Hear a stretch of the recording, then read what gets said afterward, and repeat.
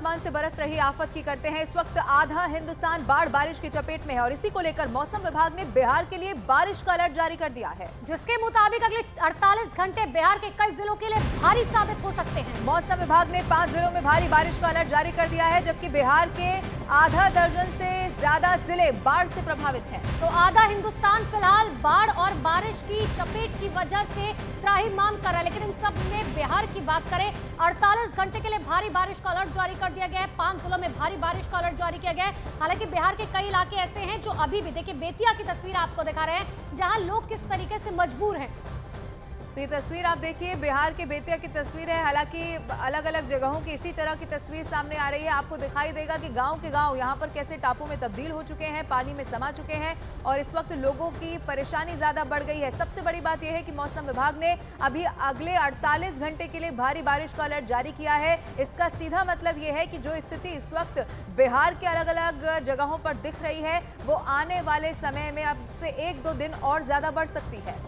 कुदरत का कहर लोगों को किस तरीके से डरा रहा है, ये तस्वीरें देखकर आप अंदाज़ा लगा सकते हैं। अलग अलग जगह चाहे यूपी से लेकर बिहार तक की बात करें आप मध्य प्रदेश से लेकर असम तक की बात करें, खेत, खलिहान, स्कूल, कॉलेज, अस्पताल सब कुछ डूब चुके हैं और ऐसे में ज़्यादा दिक्कतें लोगों को हो रही है। मौसम विभाग की चेतावनी क्या कुछ है, ये भी आपको बता रहे चौदह जुलाई तक पंजाब, हरियाणा, दिल्ली में बारिश हो सकती है। चौदह, पंद्रह जुलाई को जो है, पंद्रह जुलाई को असम, मेघालय में बारिश हो सकती है। तेरह जुलाई को गोवा, महाराष्ट्र, कर्नाटक में भारी बारिश की चेतावनी जारी की गई है।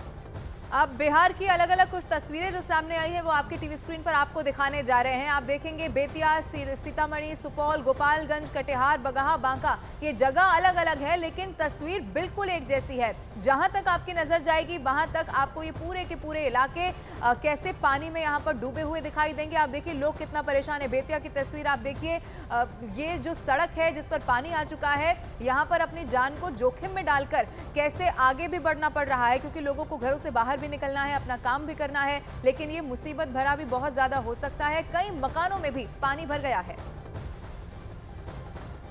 और बिहार के बाद आपको यूपी की तस्वीर दिखाते हैं। यूपी के 16 ज़िले बाढ़ और बारिश से बुरी तरह से प्रभावित। पिछले 24 घंटे की बात की जाए तो उत्तर प्रदेश में आकाशीय बिजली गिरने और बाढ़ बारिश की वजह से 50 से ज़्यादा लोग अपनी जान गंवा चुके हैं। आपको अलग अलग तस्वीरें दिखा रहे हैं। यूपी की ही देख लीजिए जहाँ पर 900 से ज़्यादा गाँव इस वक्त विभीषिका बाढ़ से जो है पूरी तरीके से प्रभावित है नेपाल में हो रही भारी बारिश का असर यूपी में भी देखने को मिल रहा है भारी बारिश की वजह से ज़्यादातर नदियाँ उफान पर आ चुकी हैं। देखिए पीलीभीत लखीमपुर खीरी श्रावस्ती गोंडा बलरामपुर कुशीनगर शाहजहापुर बलिया बस्ती सिद्धार्थनगर बाराबंकी सीतापुर गोरखपुर बरेली मुरादाबाद आजमगढ़ के कई गाँव इस वक्त बाढ़ की चपेट में हैं। उत्तर प्रदेश के कई ज़िले बाढ़ से बेहाल हो चुके हैं। राज्य में बहने वाली कई नदियाँ इस वक्त तूफ़ान पर बताई जा रही हैं और इसी की तस्वीर भी आपके टीवी स्क्रीन पर। देखिए सिर्फ़ निचले इलाके नहीं रिहायशी इलाकों की भी बात करें तो वहाँ भी बाढ़ का पानी घुस चुका है। सैकड़ों गाँव टापू में पूरी तरीके से तब्दील हो चुके हैं।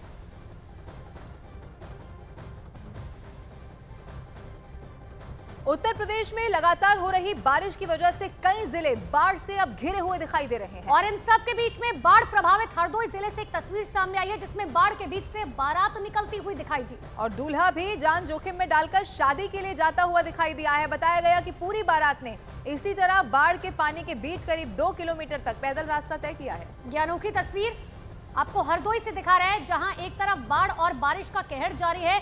तो दूसरी तरफ़ शादी करने के लिए दुल्हा बाढ़ के पानी को पार करता हुआ जो है शादी करने के लिए पहुँचा। सिर्फ़ दुल्हा ही नहीं, पूरी बारात कुछ इसी तरीके से बाढ़ के पानी को पार करती हुई जो है अब शादी के लिए पहुँची। तो आफत वाली बारिश की तस्वीर आपको दिखा रहे हैं और अलग अलग देखिए ग्राफिक्स ज़रिए आपको ये भी समझा रहे हैं कि आखिर सत्रह वो कौन से राज्य है जहाँ पर अलर्ट जारी किया गया? लक्षद्वीप, केरल, मध्य प्रदेश, छत्तीसगढ़, पंजाब, हरियाणा, जम्मू कश्मीर, हिमाचल प्रदेश। ताकि आप समझ सके कि आखिर आपके राज्य में क्या कुछ हाल है। असम, अरुणाचल प्रदेश, मेघालय और सिक्किम।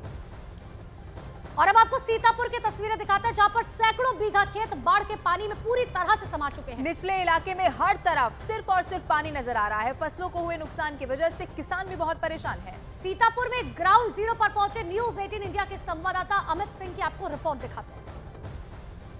किसानों को काफ़ी ज़्यादा नुकसान हुआ है। मैं एक बार फिर से तस्वीरें आपको यहाँ पर नीचे की की तरफ़ दिखाना चाहूँगा। यहाँ पर देखिए किस कदर यहाँ पर बहाव है। यानी जो खेत निचले भागों में है जो जो खेत नीचे की तरफ़ है वहाँ अब पानी जा रहा है। इससे काफ़ी ज़्यादा नुकसान होगा। हमारे साथ कई किसान यहाँ पर मौजूद हैं जो लगातार खेतों में ही काम कर रहे हैं। सबसे पहले अपना नाम बताइएगा। राजेश कुमार अवस्थी।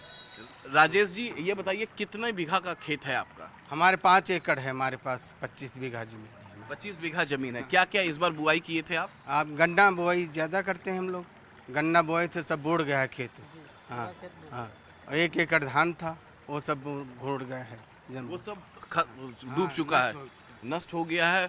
मैंने 25 बीघा खेत में जो आप गन्ना बुआई किए थे उस सब नुकसान है। हाँ सब नुकसान हो गया है। कुछ नहीं हुआ है। उसके ऊपर तीन तीन चार फीट पानी ऊपर चल रहा है। तीन चार फीट पानी ऊपर चल रहा है। आपका आपका भी खेत है? हाँ है। कितना? है। जो चार पाँच एकड़ है। पाँच एकड़ आपका आपका भी खेत है। तो आपने भी आपने क्या बुआई की थी? हम तो है तो धान सान लगवाए हाँ। सब नुकसान हो गया? हाँ सब चला गया। मेरे पीछे ये सब खेत है और ये सब किसान हैं इन्हीं के खेत है। ये काफ़ी ज़्यादा परेशान है।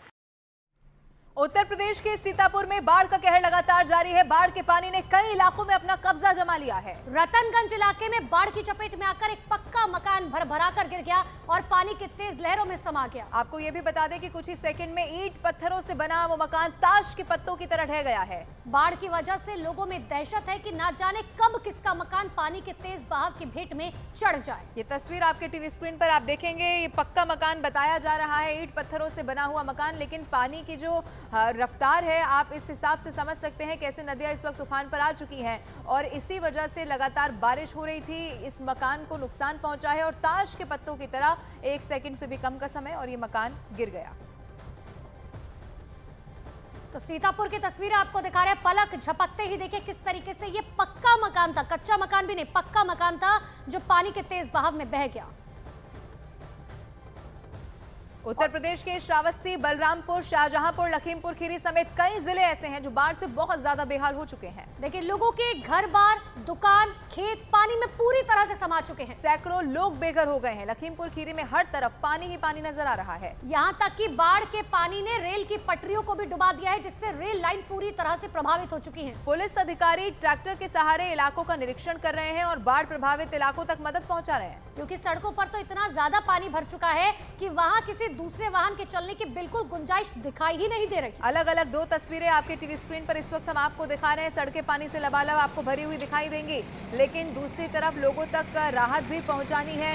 अब कैसे उन तक उनका रेस्क्यू भी करना है, ये कोशिश प्रशासन की है, लेकिन दूसरी तरफ़ आप देखिए, रेल सेवा पर भी इसका असर पड़ रहा है, क्योंकि ये जो पटरी आपको दिखाई दे रही है, पूरी तरह पानी में बह चुकी है। तो ग्राउंड ज़ीरो पर जाकर न्यूज़ 18 इंडिया के संवाददाता अमित सिंह ने हालात का जायजा लिया, वो आपको दिखाते हैं।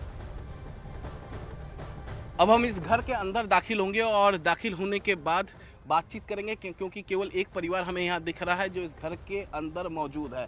अब ये गाँव का सबसे ऊँचा स्थान है तो आप देख सकते हैं कितना पानी है। बाकी जगह पे जहाँ पे सड़क वगैरह है, दस दस फीट पानी है। अब हम अंदर की तरफ़ दाखिल हो रहे हैं। ये घर पूरी तरीके से डूब गया है। सामने छप्पर है और पीछे छत है। सामने छप्पर है, पीछे छत है। अब हम घर के अंदर दाखिल होते हैं। देखिए, पूरी तरीके से ये घर डूबा हुआ है। आप आराम से आइएगा। कैमरा को बचाते हुए आराम आराम से आइए।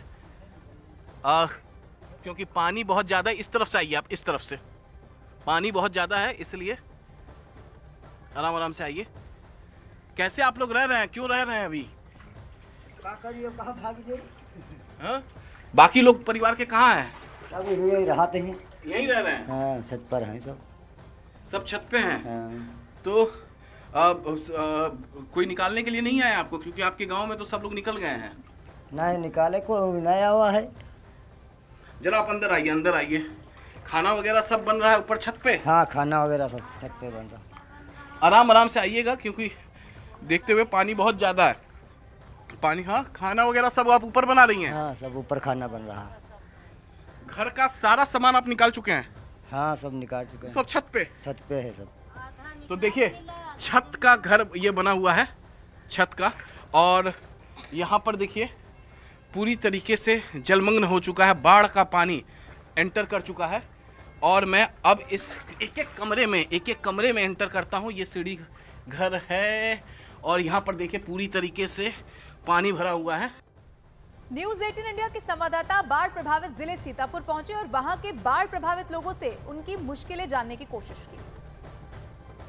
इस वक्त हम मौजूद हैं सीतापुर ज़िले के भदपरपुर गाँव में और मैं यहाँ पर आपको तस्वीरें यहाँ पर दिखा रहा हूँ कि किस तरीके से बाढ़ का पानी गाँव में लगातार प्रवेश कर रहा है और लोगों का जीवन जो है पटरी से उतर चुका है। मेरे पीछे आप देख पा रहे हैं ये सब दुकानें हैं। ये सब दुकानें जो पूरी तरीके से डूब चुकी हैं पानी में और लोग अपने ज़रूरत के सामान इस दुकानों से बाहर निकाल चुके हैं ताकि नुकसान कम हो।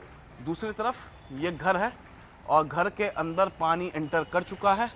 यहाँ पर देखिए, इस घर के अंदर भी हम जाने की कोशिश करते हैं। ये खटिया है जो इस वक्त बाढ़ के पानी में क्या हुआ? क्या क्या कह रही हैं? तो सब सामान भीज गवा है, बिल्कुल।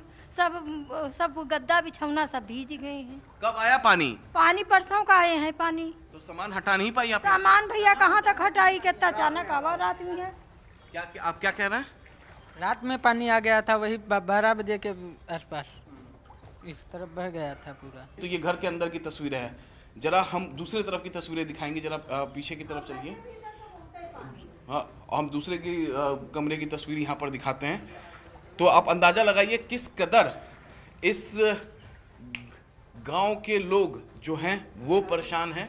घरों में पानी एंटर कर चुका है और और बाढ़ का पानी लगातार बढ़ रहा है। यूपी और बिहार के बाद अब आपको महाराष्ट्र की तस्वीरें दिखाते हैं। मुंबई में सुबह से हो रही तेज बारिश की वजह से कई इलाके पूरी तरह से जलमग्न हो चुके हैं। मुंबई के अंधेरी में तो हालात इतने ज़्यादा बदतर हो चुके हैं कि पानी भरने की वजह से अंधेरी सबवे को बंद करना पड़ गया है। लोगों की सुरक्षा के लिए पुलिस ने बैरिकेड लगाकर अंधेरी सबवे का को पूरी तरीके ऐसी बंद कर दिया है। भारी बारिश की वजह ऐसी अंधेरी सबवे पूरी तरह भर चुका है। बारिश का असर मुंबई के दूसरे इलाकों में भी दिखाई देने लगा है। चैम्बूर इलाके की बात करें तो चैम्बूर इलाके में भारी बारिश के बाद जल की स्थिति दिखाई दी और यातायात प्रभावित होने की वजह से लोग दफ्तर जाने के लिए लोकल ट्रेन का सहारा ले रहे हैं। मुंबई की सड़कों पर पानी होने की वजह से लोकल में भारी भीड़ उमड़ रही है। ये भी एक बड़ी चुनौती इस वक्त हो चली है। विराट स्टेशन पर लोकल में ज़बरदस्त भीड़ दिख रही है। तीन तस्वीरें आपके सामने है। अंधेरी सबवे बंद हो चुका है। चैम्बूर इलाके में पानी भर चुका है और क्योंकि सड़कों पर यातायात प्रभावित हो रहा है ऐसे में लोकल ट्रेन में भीड़ जो है वो बहुत ज़्यादा बढ़ती जा रही है जिसकी वजह से लोगों की परेशानियाँ बढ़ चुकी हैं। ये तीन तस्वीरें आपके टीवी स्क्रीन पर आप देखेंगे। अंधेरी सबवे जब बंद है लोग अपनी गाड़ी से बाहर नहीं जा पा रहे हैं और खास तौर पर वो लोग जिन्हें दफ्तर जाना है, काम पर जाना है तो ऐसे में वो लोकल ट्रेन का सहारा ले रहे हैं। लेकिन वहाँ पर पहुँचने के बाद आप देखिए, भीड़ से भी यहाँ पर जूझना पड़ रहा है। कई बार तो आप इस तस्वीर को देखकर अंदाज़ा लगा सकते हैं कि बहुत ज़्यादा टाइम भी लग रहा होगा। अब ऐसे में ये स्थिति बहुत ज़्यादा खराब होती चली जा रही है।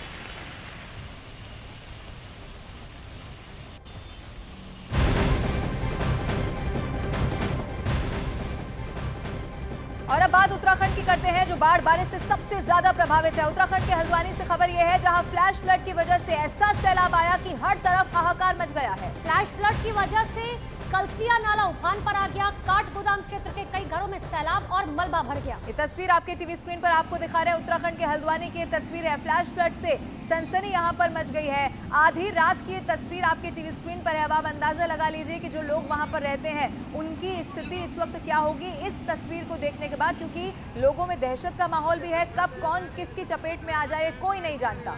सिर्फ़ तस्वीर ही नहीं, अगर आप आवाज़ भी सुनेंगे तो भी आपको समझ आ जाएगा कि पानी का प्रवाह जो है वो कितना ज़्यादा तेज है। क्योंकि कई ऐसी नदियाँ हैं जो उफान पर है। एक बार सुनिए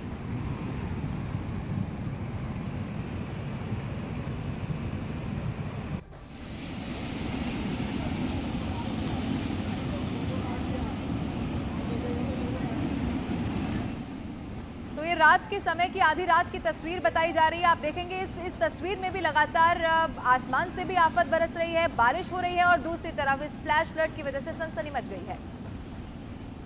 हल्द्वानी के बाद आपको जोशीमठ की तस्वीरें दिखाते हैं। उत्तराखंड के जोशीमठ में पहाड़ से भारी भरकम चट्टान गिरने का सिलसिला अब भी जारी है। बद्रीनाथ हाईवे को खोलने में जुटे प्रशासन के कुछ लोगों पर अचानक से ही ऊपर से पत्थर गिरने लगे। तीन दिन पहले पहाड़ का एक बड़ा हिस्सा टूटकर बद्रीनाथ हाईवे पर गिरा था जिसके बाद से रास्ते को खोलने के लिए मलबा हटाने का काम शुरू किया गया था। लेकिन गनीमत ये रही कि किसी को चोट नहीं आई है कुछ लोग जान जोखिम में डालकर पैदल ही खतरनाक रास्तों से गुजर ज़रूर रहे हैं। हालाँकि वहाँ पर तैनात एसडीआरएफ के जवान लोगों की मदद और उन्हें पैदल रास्ता पार करने से लगातार रोकने की कोशिश कर रहे हैं। तो आपको बता दें कि बद्रीनाथ हाईवे पिछले बहत्तर घंटे से बंद है और अभी भी लगातार वो मलबा हटाने का काम चल रहा है।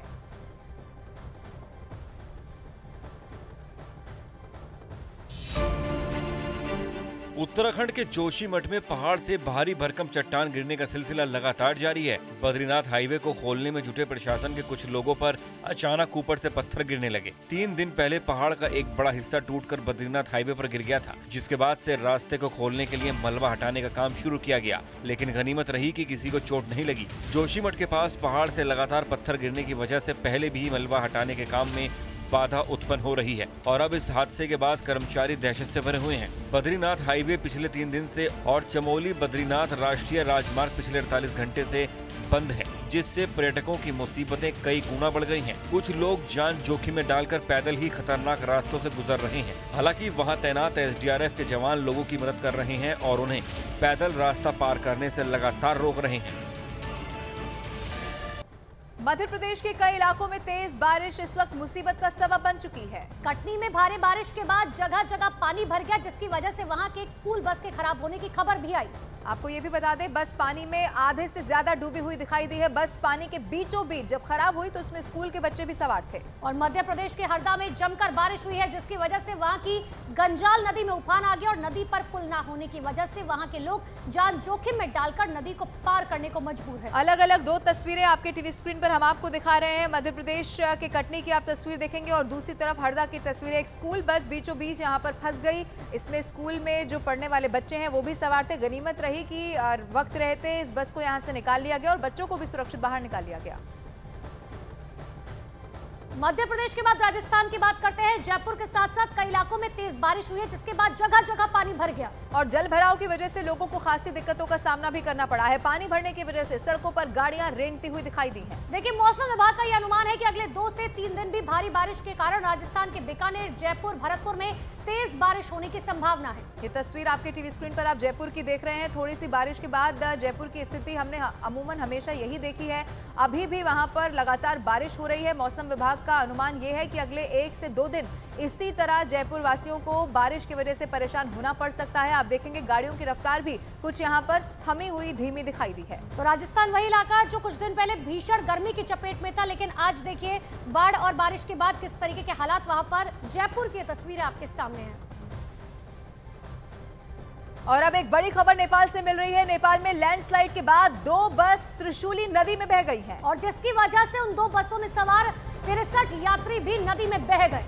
बताया गया कि उन दोनों बसों में एक वीरगंज से काठमांडू तो दूसरी बस गौर से काठमांडू की तरफ़ जा रही थी। भारी बारिश की वजह से पहाड़ी इलाके में अचानक हुए लैंडस्लाइड की वजह से दोनों बसें हादसे का शिकार हुई और त्रिशूली नदी में जा गिरी। ये हादसा नारायण घाट और मुकलिंग के बीच बताया जा रहा है। हादसे का शिकार हुए लोगों में कई भारतीय शामिल है। नेपाल प्रशासन ने त्रिशूल नदी में बहे यात्रियों की तलाश में रेस्क्यू ऑपरेशन शुरू कर दिया है। बड़ी संख्या में रेस्क्यू टीम के लोग नदी के तेज बहाव के बीच यात्रियों की तलाश करने में जुटे हुए हैं। इसीलिए माना यह जा रहा है कि नुकसान भी यहाँ पर बड़ा हो सकता है। बासठ ऐसे यात्री जो इस बस में सवार थे, लेकिन ये नदी में बह चुके हैं। यात्रियों की तलाश की जा रही है। अभी तक बहुत ज़्यादा जानकारी मिल नहीं पाई है, लेकिन रेस्क्यू ऑपरेशन बहुत तेज़ी के साथ चलाया जा रहा है। सबसे बड़ी बात यह है कि इसी बस में कुछ भारतीय भी सवार थे। दो तस्वीरें आपके सामने है। देखिए, और दो बस है जो इस त्रिशूली नदी में बह गई है, जिसमें बासठ यात्री बताए जा रहे हैं, जिसमें बड़े, बूढ़े बच्चे, महिलाएँ भी शामिल है। हालाँकि अब प्रशासन की तरफ़ से लगातार रेस्क्यू ऑपरेशन जो है, वो चलाया जा रहा है ताकि जल्द से जल्द कुछ लोगों का रेस्क्यू किया जा सके। और जो जानकारी अब तक मिल रही है कि इस बस में कुछ भारतीय भी सवार थे।